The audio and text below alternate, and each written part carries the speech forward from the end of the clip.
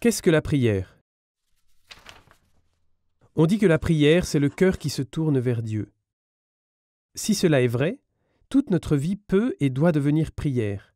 Notre cœur doit être tout entier tourné vers Dieu. Mais puisque ce n'est pas si facile de le faire au quotidien, et que normalement, il faut l'apprendre, le mieux, c'est de commencer à réserver un certain temps de prière pour Dieu. Alors on peut se recueillir et tourner son cœur vers Dieu. Il y a trois types de prières qui ont toute leur place pendant notre temps de prière. Il y a d'abord la prière orale. Dieu connaît notre cœur, mais selon notre nature humaine, nous avons besoin d'exprimer ce que nous portons. C'est pourquoi la prière orale est une forme fondamentale de la prière. La prière orale nous aide aussi à prier avec les autres, car elle permet aux autres de se joindre à notre prière. Le deuxième type, c'est la prière méditative on regarde des images, on lit la parole de Dieu par exemple. Par la méditation, j'intériorise l'objet de la méditation pour qu'il imprègne ma vie de plus en plus.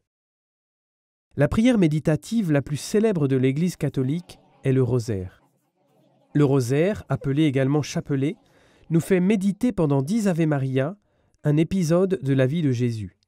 Cette méditation nous aide à intérioriser la vie de Jésus il faut que nous soyons marqués par sa vie.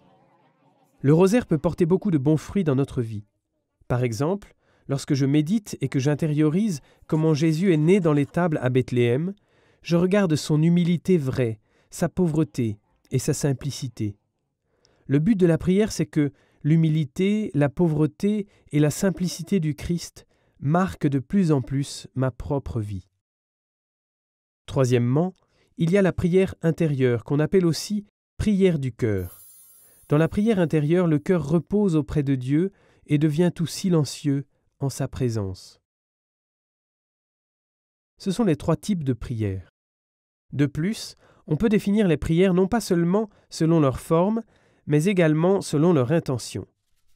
Par exemple, il y a la prière de bénédiction, par laquelle on invoque la force et la bénédiction de Dieu sur soi et sur d'autres.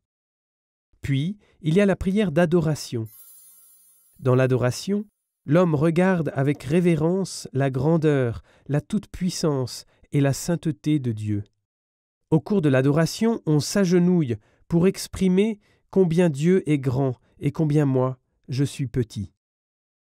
Une forme particulière d'adoration est l'adoration eucharistique, dans laquelle on adore Jésus dans le sacrement de la Sainte Eucharistie on y expose le corps du Christ dans un ostensoir en dehors de la messe. Ensuite, il y a la prière d'imploration. Dans la prière d'imploration, on se tourne vers Dieu avec ses intentions. Dieu connaît d'avance tous les désirs de notre cœur, mais la prière d'imploration nous aide à reconnaître Dieu comme source de tout bien. Cette prise de conscience, par ailleurs, est à la source d'une autre prière, la prière d'action de grâce d'où son effet si libérant. Car quand je rends grâce, je ne me vois pas comme celui qui a droit à tout, mais comme celui qui est gratifié avec tant de choses. Cela ne nous rend pas seulement reconnaissants, mais également joyeux. Une variante de la prière d'imploration est la prière d'intercession. Dans l'intercession, on se tourne vers Dieu en portant des intentions pour les autres. Elle montre notre unité avec toute la famille humaine et nous permet de nous mettre au service des autres selon l'exemple du Christ. La louange est encore une autre forme de la prière. La louange chante Dieu pour lui-même, non pas parce qu'il a fait quelque chose pour nous, mais parce qu'il est. On se joint à la louange céleste des anges et des saints. On pourrait dire beaucoup plus sur la prière, mais mieux encore que de parler de la prière, c'est de s'y mettre. Et donc, arrêtons de parler.